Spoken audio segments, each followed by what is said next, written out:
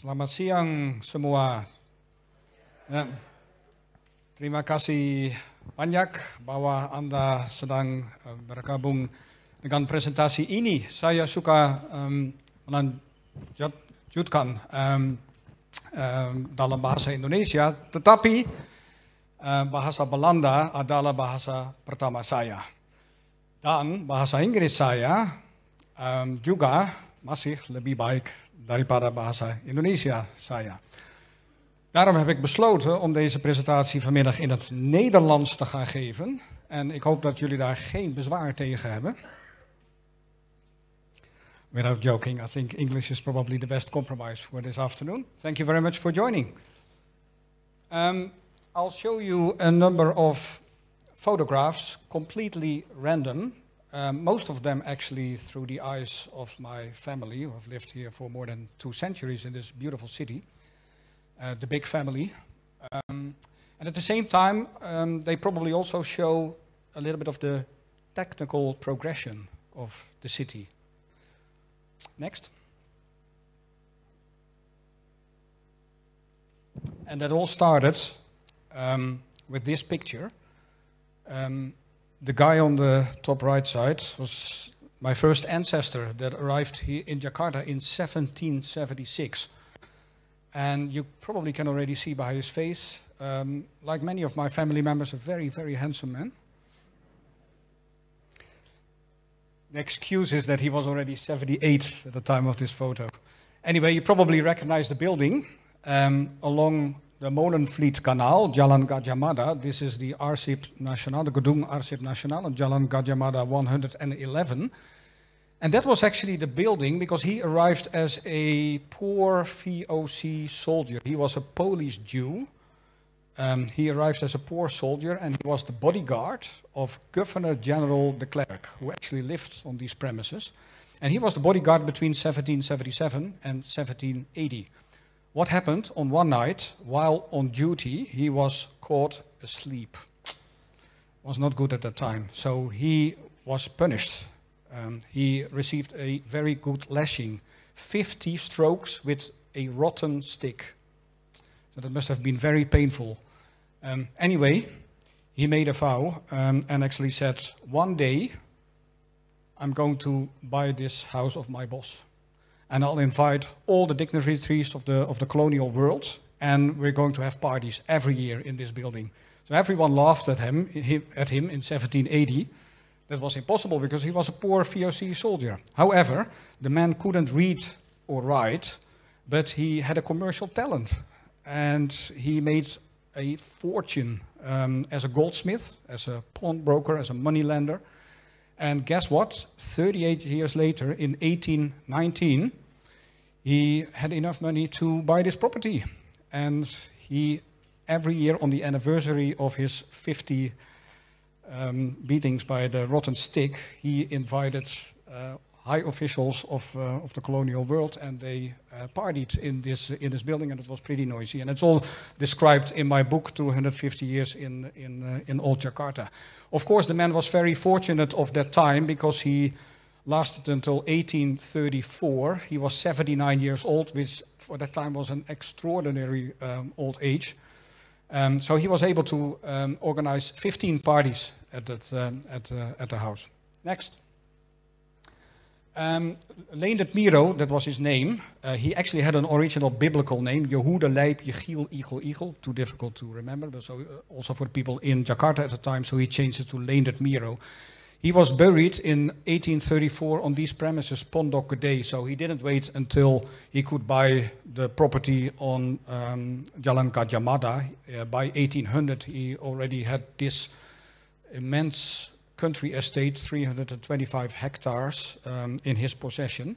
That's why he, where he was buried. And I spoke to someone um, probably 30 years ago, and his tombstone was still present on this site in 1984. By 1985, it was all demolished, and according to the locals, his tombstone was used for the construction of a local mosque. Um, the guy at that time told me, Did you know that actually that Leonard Miero was a Jew? Anyway, uh, as you can see in Pak Raditya's book, uh, where the, there is, I think, an, uh, an, an, aerial photo of Pondok Gede as well. It's now a shopping center. Next photo. Um, two other ancestors of my family that actually arrived in Jakarta a little bit later in 1816 were these two brothers on the bottom side. Uh, Adrianus Bik on the right side and Jannus, or actually Doris Bik on the left side. They were actually two brothers um, part of a large expedition organized by Professor Reinwardt, or actually facilitated by Professor Reinwardt, but organized by the first king of the Netherlands, King Willem I, in 1815. Because people in Holland had a problem. There was no photography. And how do you show the 9 million population of the Netherlands at that time, how their colony far, far away looked like? So they actually constructed a expedition and that contained of painters, novelists, uh, botanists, uh, a lot of scientists as well, and draughtsmen. So these two um, ancestors of mine were uh, draughtsmen. And they settled in, um, in Jakarta, however, they traveled a lot as well. Um, Doris Bik is actually linked a little bit to Raden Saleh because in 1819, here in this beautiful city, he provided some drawing lessons to um, Raden Saleh. And the famous uh, drawing of Diponegoro when he was caught in 1830 uh, was uh, sketched by um, his brother um, Adrianus Bik. And uh, the drawing was finalized here in Jakarta in, uh, in 1830. Next. Fast forward to 1884, and by that time, photography was already introduced. Um, a link to the previous pages, if you see the old lady sitting on the chair on the, on the left side there, uh, with a beautiful um, batik sarong, um, she was the sister-in-law of Leendert Miero, one of the parties on Jalan Gadjah Mada. At the time of this photo, she was 89, so we are looking at a photo from 1884 with someone who was born in 1795, and I, I find that extraordinary, actually that we have someone on the, on the photo from a, a previous um, century. Anyway, um, the couple on the top left side, standing very close to each other, um, were my great-great-grandparents. And they actually married in the same year in 1884. Um, this picture was taken with uh, only a small part of the family on what was called Gang Bin On, but this gang no longer exists. It's actually next to what was called the, um, the King Willem III Gymnasium in um, near Salemba. Uh, this was a beautiful uh, country estate. And the photo on the, on the right side is actually their daughter and my great grandmother. Um, that was a um, photo taken at the studios of Woodbury and Page here in Jakarta. Lovely girl, and she is smiling. Next photo. Um, the couple on the left that you saw in the previous photo settled in Tanah Abang. My great great grandfather was a very lucky man because he inherited close to one million guilders at the time from um, Jannus Bik, one of the draughtsmen. And he bought out a lot of family members of Tanah Abang and actually settled on a massive estate close to Pasar Tanah Abang on Tanah Abang Bukit. And when he went to work, he probably saw this scene quite often as well. And when you see historic pictures of Jakarta, quite often you see the famous, what I call washing ladies along the Molenvliet Canal, Jalan Gadjah Mada Jalan Hayam Wuruk. Um, but this, I think, I find this equally fascinating, actually, that you have a canal running in between. On the left side, actually, is Jalan, what's now Jalan Abdul Muiz. On the right side, uh, Jalan Tanah Abang Timur. In Tanah Abang, a pretty wide canal at the time, and uh, people were just gathering, fishing, uh, probably talking and eating as well. Um, and this lively scene probably happened throughout the day uh, in the late um, 19th century and early 20th centuries. Um, these days, if you stand on that, uh, the bridge actually still exists between Jalan Abdul Muiz and Jalan Tanah Abang Timur. If you st stand on there, uh, there's probably not much seafood in the in the much narrower canal um, in our days, um, and the only animals that you probably see are grey and they have a long tail. Next photo. Um, a little bit of uh, more technical progression. Um, I quite often complain myself about the noisy, pesky motorbikes that are currently in Jakarta. However, my own grandfather owned one in 1926, as you can see here on this picture. So he probably was contributed to a lot of noise in, uh, in pre-World War II Jakarta at that time as well. He's actually sitting on his motorbike here on Tanah Abang Bukit in 1926. And on the back, maybe unusual, uh, Ibu Suntje. And Ibu Suntje um, was a very old lady in 1926 uh, worked for decades on uh, my country's or my family's country estate on Tanah Abang. And she always described um, that as a noisy monster, and they, he should have never bought it. But she had one dream, and it was actually to sit on the back of a motorbike and be driven around town by my grandfather. So on one day, it actually happened. And my grandmother told me that it was such a fascinating scene there in Tanah Abang that my grandfather left with Ibu Suntje on the back and she was singing and screaming all the way uh, through uh, Jakarta at the time. It must have been a fantastic scene, and not sure if anyone caught that on camera. Next. Oh, we skipped one. Yes, this one. Not a technical progression. 1933. Um, again linked to uh, my family. Uh, this very pretty house um, on now Jalan Mohammed Yamin, previously Jalan Madura, was uh, actually bought by my uh, great grandfather, and that was the husband of that lovely girl that you saw on the Woodbury and Page um, um, photo of 1892. Um, this house, as you can see, it has no ventilation grids above the windows. This was the first air-conditioned house in Jakarta in 1933, and that was earlier than many other important buildings in the city. So, for example, um, Istana Merdeka on Medan Merdeka had a one air-conditioned room for the Governor General installed in 1940. The NIROM, which was the, um, the radio uh, broadcasting company, uh, same site as where Radio Republik Indonesia is uh, based at the moment on uh, Medan Merdeka Barat, um, had air-conditioned studios for the first time in 1938, the same year that actually the trains uh, running through the island of Java had air-conditioned air uh, carriages as well. But it was actually a, a novelty in, in 1933. Uh, it had to be imported from the United States of America. And as you can see on the photo on the, on the left, um, that's actually my aunt, sister of my grandmother, um, who was actually in the back garden here with a humongous water tower uh, that actually provided the coolness in the house. But I'm afraid not only the coolness in the house, but probably also very noisy to neighbors, especially the ones very close there at the back on, uh, on Jalan uh, Indramayu. Next photo. Not a technical progression. Um, on Pasar Gambir, Pasar Gambiring in 1938. Pasar Gambir was an annual fair held in pre-World War II uh, Jakarta for the first time in 1906, and then it was held annually from 1921 onwards. You see on the internet a lot of cases, including the Wikipedia page, that actually says that the Pasar Gambir ran until World War II and that the last edition was in 1941 and 1942, which is not true. Uh, this was the second last one in 1938 and 1939 was the, was the last uh, Pasar Gambir. Afterwards, uh, the war broke out in Europe and later in the Pacific, and uh, they found it not appropriate to organize a, such a feast in Jakarta. Um, fantastic pictures because this was the, these were the first pictures ever taken in Jakarta in color, so with a color um, photo camera. And the other special thing about Pasar Gambir was the, it was the only event in Jakarta, the only annual event where actually everyone in the city could, could join. It was not like the Cikini swimming pool or the Manggarai swimming pool that was only allowed for, uh, for white people or for Japanese people.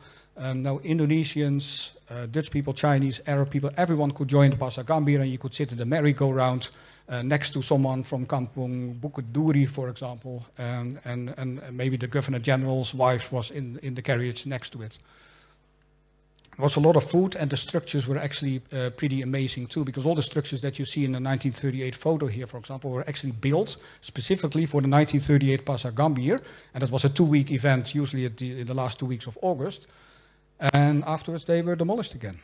Next photo. Same year, 1938, um, my grandmother used to work for the Javasche Bank, what's now the Bank Indonesia, in Kota, same building now on uh, Taman Fatahillah, uh, and Station Kota.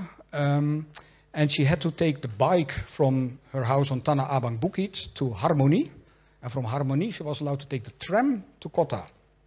And this was actually the tram, so she usually parked her bike in front of what is now the, um, uh, the Bank de Postspaarbank there on the corner of Harmony, and then took tram line 4 um, to, uh, to Kota. And th this tram line actually ran from Tanah Abang to Kota, so I've ne never been sure why actually she had to take the bike from Tanah Abang to Harmony. But it's probably because her parents thought that she had to do a little bit of exercise anyway. Um, which was actually strange because on the way back, at the end of a hard working day, when she was tired, she had to take the bike and push it all the way from Harmony to Tanah Abang, which was actually on a slight incline. So it must have been very sweaty when she um, arrived there. Anyway, uh, you probably recognize a little bit here. So this was actually at the start of Jalan um, Gadjah Mada, and we see the uh, still in a much more prettier condition than it is today, Hotel de Galerie uh, on the corner of Jalan Juanda and Jalan uh, Hayam Wuruk. Next. And when my grandmother arrived back at home at the end of a working day, 30 seconds before she actually parked her bike, this was the view that she had um, of Tanah Abang Bukit. And it was actually like half the estate. So her house with her grandparents was actually there on the left side behind the trees. Single story house. That was a massive house that used to belong to to my family as well. But after my great great grandfather passed away in 1918, those were all sold. Um, and the director of the firm McLean and Watson actually lived in that house at that time in 1923. And there was a similar double-story house on the other side. If this would have been a panorama photo, you would actually would have seen a, almost like a mirrored view of, um, of, of, uh, of this picture. Now, just by raising hands in this audience, who of you think that that, that beautiful house on the right does still exist today? Please raise your hand if you think that house does still exist today. No one of you thinks that. Then the tree, that beautiful, massive tree on the, on the left side. Who of you think that the tree does still exist today? Yeah, a few hands, a few hands there. Um, anyway, absorb this into your brain, this picture. As soon as I say next, you see exactly the same scene, but then in 2020. Next. This is 2020. Still a very pretty, relaxing place to live, I think, or not? At least still place to park your bike. Yeah. Now, the tree, the tree has gone already um, at the end of the 1950s uh, because the Angkatan Udara Republik Indonesia had their Markas Besar on Tanah Abang Bukit, so that there were a few more offices got, but the, actually the house that you saw on the picture uh, survived until the mid-1980s, which I think is extraordinary for a building that was previously a mention of uh, uh, Governor General van Imhoff and built in 1740. So that has basically survived for 245 years. A little bit of additions, and the, the columns at the front had to be strengthened, but actually I've seen pictures in 1983 and the, the, the building still looked uh, pretty okay. Next.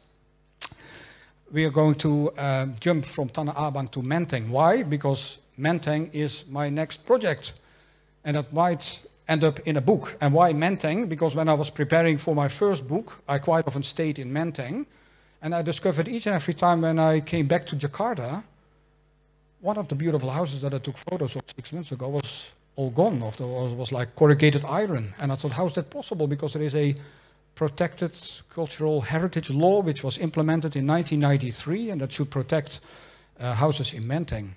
Um, but apparently that law has, was circumvented, partly because it was probably Im implemented at a time when already 40, 50% of all Menteng houses had already disappeared. So how can you actually reinforce um, such a law? Um, but in the last 10 years, it's actually going at a dangerous and, and, and rapid pace. And if we don't do anything about Menteng, um, then maybe it will have the same fate as Tanah Abang, where I've done a calculation and there are actually 2% of all historic buildings in Tanah Abang are left. In Menteng, we are currently already sitting at 80% demolished across the board. So best examples, for example, Taman Surapati, where most of the houses are still there, but lots of other streets, uh, more than 80% of the houses, original houses, have already been demolished. And that's not because those are houses that are so, so important that they have to be kept, but there are so many examples of houses in Menteng, because Menteng was designed as a garden city. It was actually an, an, an, a very unique urban planning concept 100 years ago, but it was also a playground of a lot of architects, European architects, but also Indonesian architects, and they implemented everything from Jugendstil to Art Deco and what they call um, uh, new business style. It, it was all there, and I spoke to architects in Jakarta in the past weeks, and they've all said that so many original buildings in Menteng have already been demolished that we have to send our students to Europe, for example, to show how a Jugendstil house was designed. Well, actually, we had all those examples in Menteng. Anyway, um, on the previous picture, you saw what I call always the gateway to Menteng, and that is, to me, is a very precious part. Uh, can we quickly go back to the previous page, please? Yeah, because you see the Kunstkring building on the left, you probably recognize that. Um, we see Jalan Teuku Umar um, going straight through where the cars are actually entering and, uh, and, and, exiting. And if the photographer would turn around 180 degrees, he would see the Masjid Cut Meutia on that side and the, and, and, and the train tracks um, as well. Uh, of course, Kunstkring exists. How many of you, raise hands again, think that that lovely house on the right still exists today too? No? You all think it's been demolished? Okay. A few of you think that it does still exist. It does still exist. It does still exist. But it has been empty for the past 12 years already. And it starts crumbling. I mean, it's pretty solid because most of the walls are made of reinforced concrete. The tower on top is actually made of, uh, of, of solid rock. Um, that's why it's still there. I think if this would ever be demolished, it would almost mean an amputation of Menteng, of one leg of Menteng. I think I can live with the fact that maybe 80 or 90% of Menteng will ever be demolished and, and, and not be kept, but let's keep this gateway of Menteng. And I have a dream actually that this house should actually be renovated and it should actually represent the gateway of Menteng. So young architects, people interested in urban planning, uh, people interested in Jakarta's history in, in, in general should actually be able to come to a place in Menteng where they can actually learn about urban planning and how Jakarta developed and how that garden city was actually developed. Learn about their inhabitants. How did Father Heuken live for, um, for nearly 50 years in, in, in Menteng? What were his experiences and his photos, etc. And so many other examples from from Mohammed Hatta on Jalan Diponegoro 57 to um, General Nasution on Jalan Teuku Umar 40. There are so many um, important and well-known Indonesians. So much history in Menteng that should actually be preserved. But people should also be uh, come there and actually have almost like a Google Street experience and see how Menteng actually looks like in, in, um, in looked like in 1940, uh, for example. And then, for example, um, tours will be facilitated to those leftover examples in Menteng, and it could be like 25 or 35 houses where people can actually experience how Menteng was developed between 1911 and 1947. That's my presentation so far. Um, if you go to the next page, uh, I publish a lot on Jakarta's history um, when I'm not in this country and back at home in Australia, where, by the way, I almost forgot to say, I grow kangkung in my own garden back in Sydney. So and I enjoy that as well. So referring back to the earlier kangkung uh, first. Uh, but I post regularly on social media as, at Lost Jakarta on Instagram and Facebook. There are videos showing Jakarta in 1941, 64, uh, President Sukarno uh, interview in, in, in Dutch in 1963, all on the YouTube um, uh, channel of, uh, of Lost Jakarta. And of course, there's the, the website as well. Thank you very much.